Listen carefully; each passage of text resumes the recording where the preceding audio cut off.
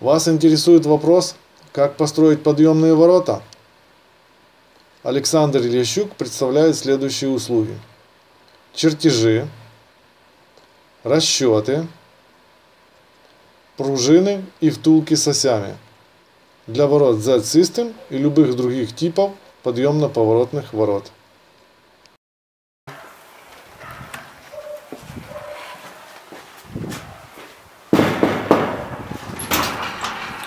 Здравствуйте, дорогие друзья!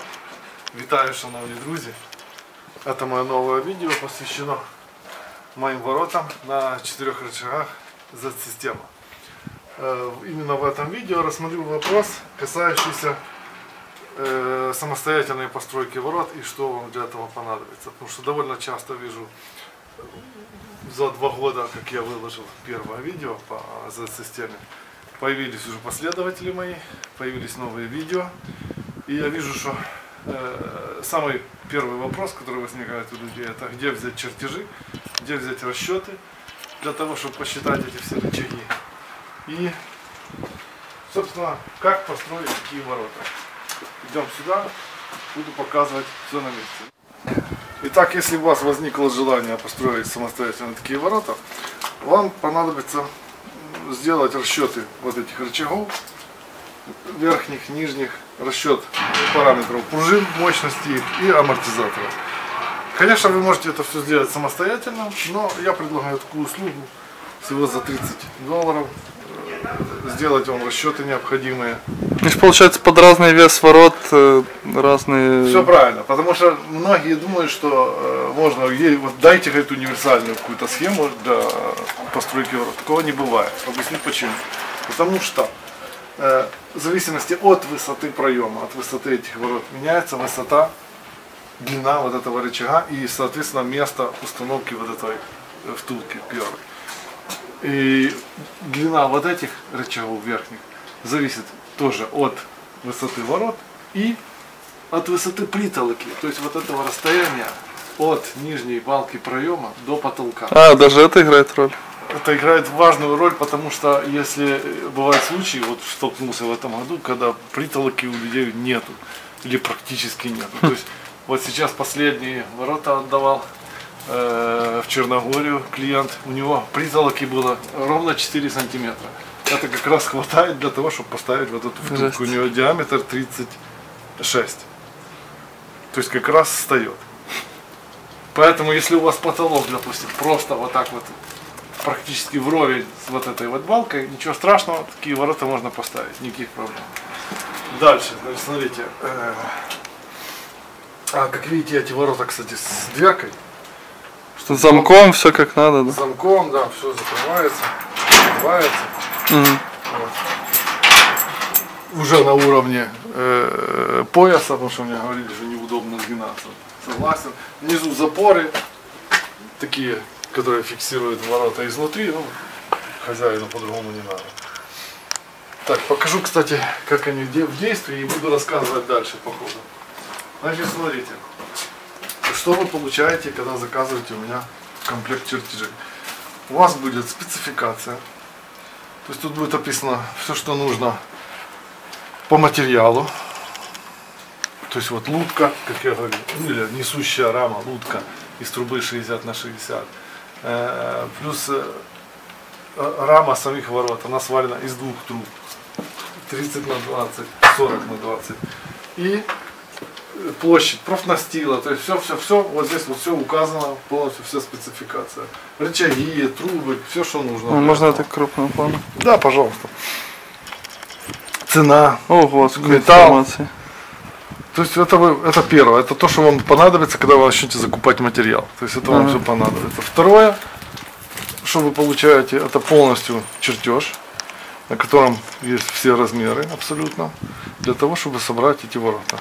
И еще один чертеж, ну, там в середине, это места установки амортизатора.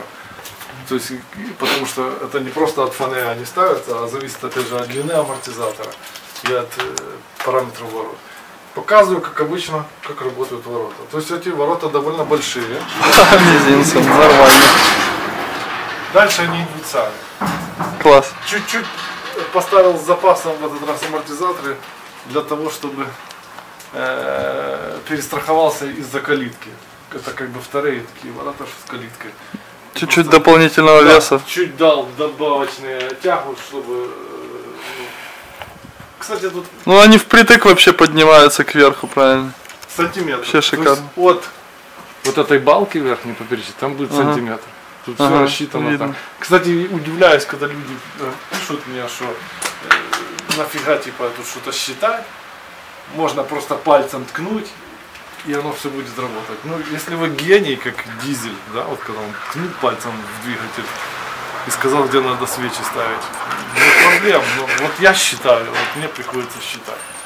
По-другому не получается. Получается, высшее техническое образование приходится считать. Да, приходится.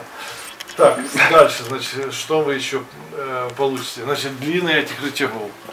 Это я сказал. Э, мощность и длина амортизаторов. Значит, если бывает, я пишу по мощности амортизатора, вы его не можете найти, допустим, да, у себя в регионе.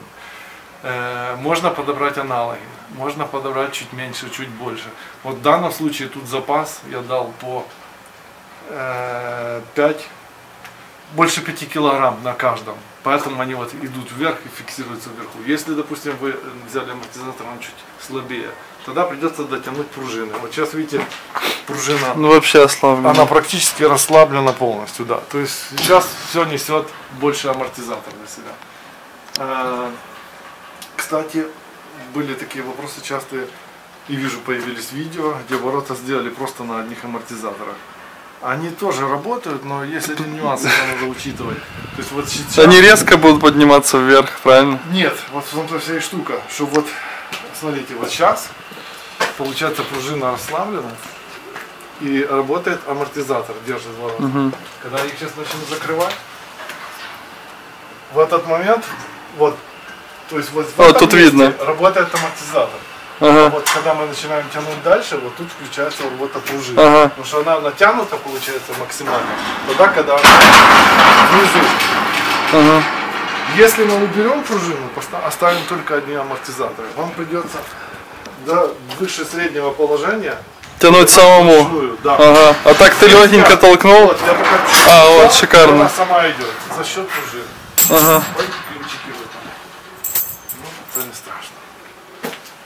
Вот такая штука. Значит, еще раз скажу. Значит, это стоит, комплект чертежей, стоит 30 долларов. Э, Плюс вы еще получаете подробную инструкцию по сборке.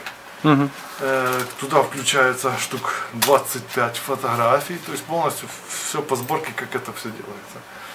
Вот. Э, Рекорд, кстати, по сборке. Ну, правда, парень заказал еще комплект пружин. Это стоит дополнительно. Вот эти пружины. Ну там они разные под каждую сборку, правильно Да, идут? вот тоже говорят, как при, как они выражаются, приколхозить какие-то пружины. Да, опять же, универсальные. Но вот повторюсь, не бывает универсальных пружин. Из-за того, что высота разная и длина пружины получается разная. Ну, Выходит, если их не считать, то либо подкинет человека, либо самому тянуть придется. Да, да, да. То есть будет либо зверская нагрузка 100% в- при открывании, либо придется ставить мощный амортизатор, чтобы удержать вверху. Опять же, значит, фишка. Спасибо Денису, кстати, который подогнал мне идею. Он реализовал ее. Я ему сделал ворота. Э, Когда вот эта шпилька натяжная для регулировки натяга, теперь вовну- внутри пружины. Очень удобно, очень компактно, красиво, супер. Мне нравится. Ага, еще Мгм. изменения. Добрый же вспомнил. То есть, видите, сейчас амортизатор ставлю на нижний рычаг. Это именно из-за того, что пошли заказы, где притолоки нет. То есть вот это расстояние до потолка либо очень мало, либо вообще отсутствует. Поэтому единственный вариант, куда поставить амортизатор, только на нижний рычаг. Потому что верхний рычаг получается коротенький. Он будет вот как это А, мгм. бумага. ну да. И поставить амортизатор просто некуда. Из-за этого такое решение. А, Второй вариант, значит, по заказу, это а, когда вы можете заказать чертежи плюс комплект пружин и э, комплект втулок. Кстати, э, забыл сказать, что сюда же входят чертежи вот этих втулочек. Почему я рекомендую делать именно на вот таких втулках точеных? э, а не как вот есть видео, где люди сделали просто на болтах что-то делали.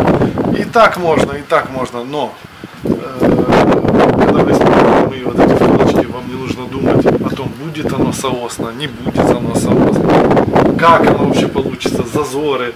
То есть вы об этом ничего думать не надо, вы просто ее приставили на место, приварили, и оно все уже будет соосно, все будет так, как надо.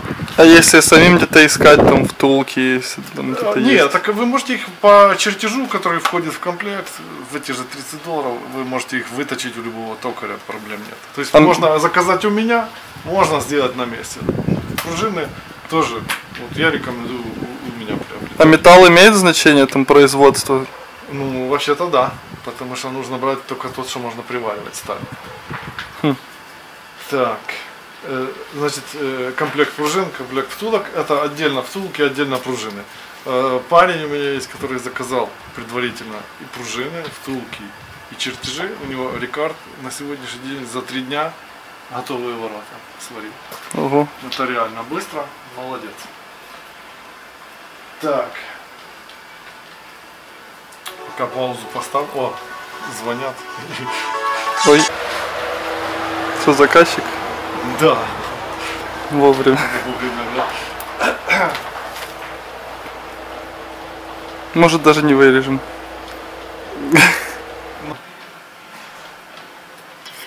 Ну и третий вариант это заказать готовые ворота у меня. Если у вас по какой-либо причине нет времени этим заниматься, допустим, либо нету сварщика, все делается, отправляем по Украине. Э, По поводу вопроса, что ворота могут закрыться а, от порыва ветра или еще что-нибудь в таком духе. Значит, смотрите, вот именно в- данной ситуации амортизаторы стоят чуть мощнее. Из-за этого э, они, вы видели сами, открываются вверх. И закрывать их, соответственно, тяжелее. То есть, вот, чтобы их закрыть, мне нужно приложить усилия. Так, не мерил, но по ощущениям килограмм 10, может 12. То есть нормально фиксируются, идут вот вверх. Сами по себе они не закроются, гарантия.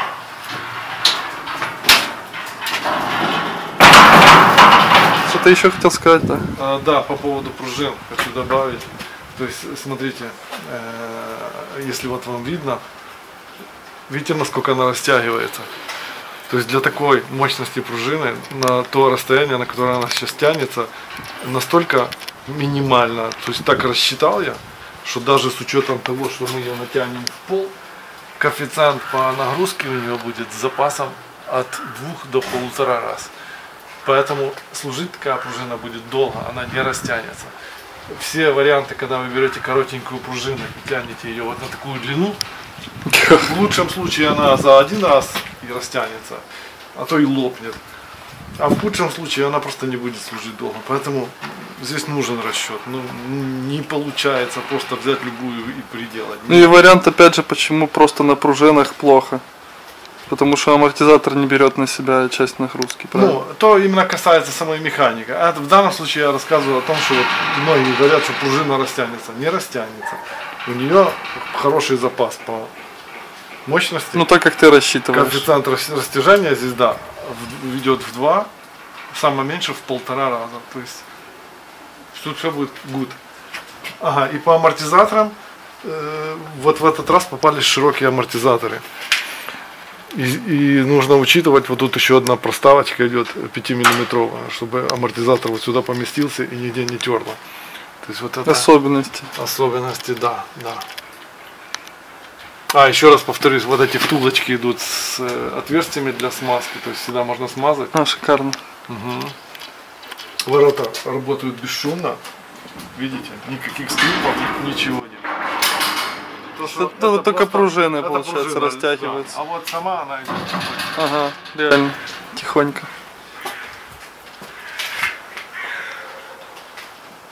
Мне нравится, что они под самый под самый самый верх Да, открываются. ну, видишь, это и с запасом по амортизаторам сделано по мощности, поэтому они идут сами вверх.